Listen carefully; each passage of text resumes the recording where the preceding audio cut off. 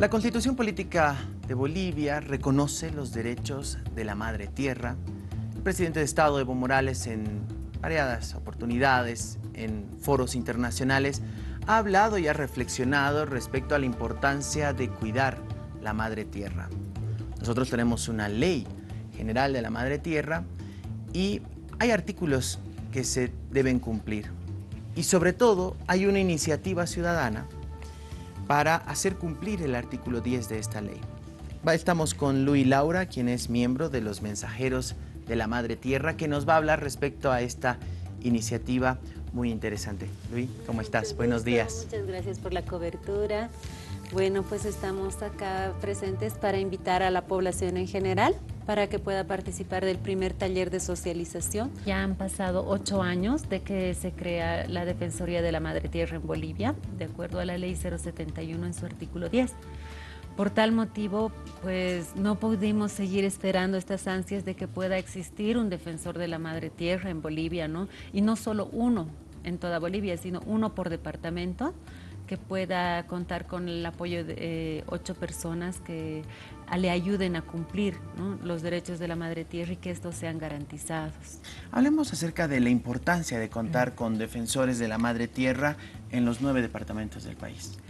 Bueno, actualmente es necesario ¿no? que pueda haber alguien que eh, pueda representar a la madre tierra, considerando que él es el sujeto, él es el único sujeto activo y legalmente establecido para poder accionar eh, de manera administrativa y jurisdiccional en defensa de los derechos de la madre tierra y para pedir la garantía de los mismos.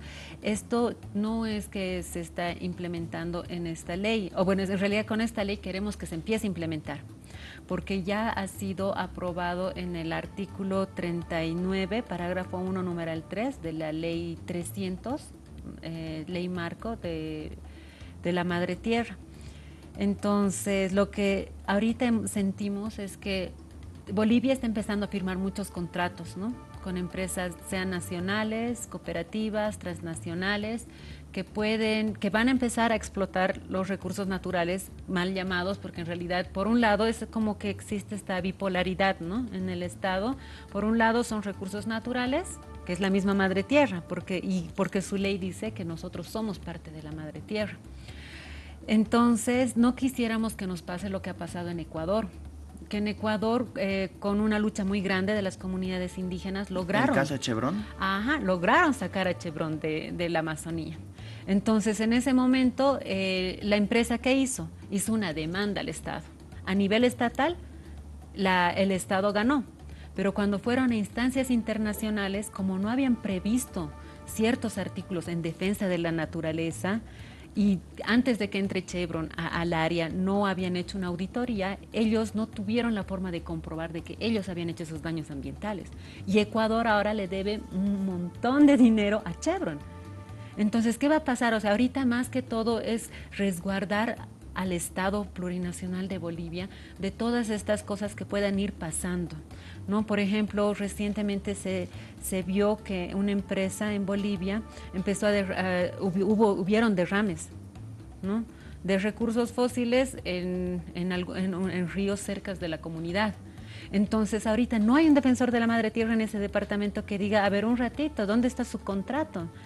Incluso antes de firmar el contrato tendría que estar esta persona para poder resguardar, porque y el momento en que entre una empresa a hacer una actividad em, de explotación a nuestra madre, se le entregue eh, con toda una auditoría, ¿no? O sea, realizando toda la inspección previa, porque hay en el artículo 11 para em, numeral 5 de la ley 300 de la misma ley marco, señala que toda persona natural o jurídica que realice una afectación a la madre tierra tiene que pagar. Está en, o sea, tiene que pagar por lo que hace. O sea, por ejemplo... Pero en este momento no existe una autoridad que haga eh, cumplir Exacto. O sea, existe. Teóricamente en la ley 071 y la ley 300 existe. Es el defensor de la madre tierra. Pero físicamente no está la, la defensoría. Por eso nosotros con mucho amor hemos hecho esta iniciativa legislativa ciudadana para presentarla a la Asamblea Legislativa y que la puedan considerar. Ahora es importante porque ustedes, al estar presentando una iniciativa ciudadana que está contemplada en la Constitución política del Estado como una manera justamente de proponer leyes, es decir, cualquier ciudadano está habilitado a presentarlas, ustedes están haciendo una serie de talleres para recabar justamente y que haya retroalimentación con la población. Exacto, eso es lo más importante, eh, los hermanos y hermanas de Bolivia, porque esto es simplemente una iniciativa que ha nacido por, por amor, como le digo, de, la desesperación, por así se podría decir, de, de, todo lo que está pasando actualmente en Bolivia. Pero el papel más importante es de todos los hermanos, porque juntos vamos a empezar a tejer esta Defensoría de la Madre Tierra, uniendo los sueños de todos, ¿no? Es decir, mucha gente dice, está desmotivada, es como que hubiese perdido la fe por toda la coyuntura actual y el contexto por el cual está atravesando Bolivia. Entonces dice, ay no, eso va a ser otro defensor del pueblo, o ay no, eso va a ser un cargo a dedo, están perdiendo el tiempo, ¿no? Entonces nosotros estamos convocando a la ciudadanía porque, y otro temor que también sentimos es, esto es seguro es de algún partido político. No, hermanos, no es de ningún partido político. Nosotros no pertenecemos a ningún partido político Simplemente queremos tejer juntos una defensoría de la madre tierra que realmente sea del pueblo y que realmente defienda los derechos de la madre tierra. Luis, eh, hagamos la invitación a los talleres para que la gente pueda enterarse eh, de repente páginas en el Facebook donde la gente pueda empezar a contactarse con ustedes, ser parte de estos talleres. Bueno, eh, la invitación está en la página de Facebook, en Mensajeros de la Madre Tierra, pueden ingresar y el evento se va a realizar, el primer taller de socialización se va a realizar en el Magic, que queda en la Pedro Salazar y Presbítero Medina, en plena esquina, es un café cultural. Ahí se va a realizar. Lo bueno es que tenemos la veedores internacionales. Van a estar eh, una experta del programa de armonía con la naturaleza de las Naciones Unidas. También está Jen, y la Casa Latina, ¿no? que son asentamientos sustentables. Y GEN es la Global Eco Village Network, ¿no? son todas las ecovillas que también están apoyando de manera como veedores internacionales de qué es lo que está pasando en Bolivia. ¿Cuándo va a ser este primer taller? El primer taller va a ser este sábado a las 8 de la mañana. O sea, pasado mañana. Sí. Pasado mañana. pasado mañana. Es como un regalo que le estamos, más que todo, rememorando los ocho años de la promulgación de los derechos de la Madre Tierra. Pedimos de manera pública y pues esperamos que toquemos sus corazones, tanto al presidente como a la Asamblea Legislativa, que puedan apoyarnos, porque esto es algo de nosotros, no es algo partidario es algo de la madre tierra que inmiscuye a todos.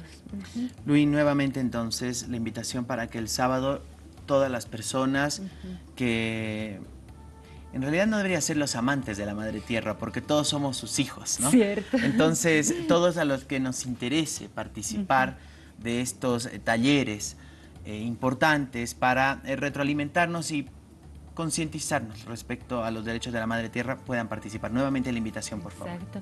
Invitamos a todos los hermanos y hermanas que quieran participar en la elaboración, en, la, en seguir recopilando em, el proyecto de ley de la Defensoría de la Madre Tierra para Bolivia, pues todos quedan cordialmente invitados, vengan muchos y, ah, y si tienen miedo, por ejemplo, decir, ah, yo voy a aportar en el artículo 1, en el objeto, y dicen, pero ¿quién se va a quedar con los derechos? No, no hay derechos. O sea, esto es como que, claro, la persona que quiera se le va a poner su nombre, ¿no? Se agradece al señor eh, Marcelo Pinto por su gran apoyo en el artículo tantos. Claro, el momento de la recopilación, por eso es muy importante. Este 22 va a ser el primer taller.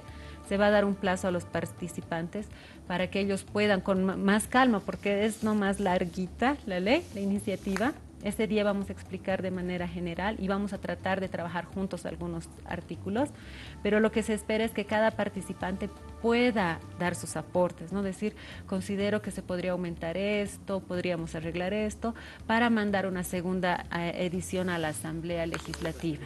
Muy bien, entonces en la Pedro Salazar y Presbítero Medina, Café Magic, este sábado 22, pasado mañana, a partir de las 8 de la mañana. Luis, muchas gracias. Gracias a usted, muchas gracias.